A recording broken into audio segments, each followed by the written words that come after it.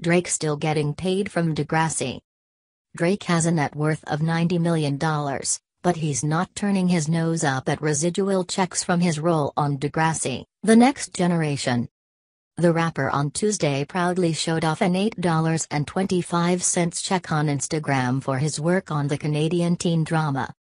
Degrassi money still coming and don't sleep, the caption of the $8.25 check read.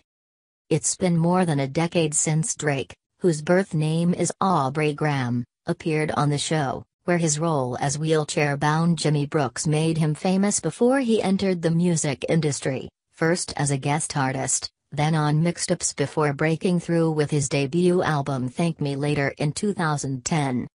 Fans of Degrassi may remember Drake's character performing a little ditty called Spinner's Rap. It was the first time I ever got to showcase rap on television, he said of the song in a 2016 interview. I think they gave me the opportunity after that to write a real song myself.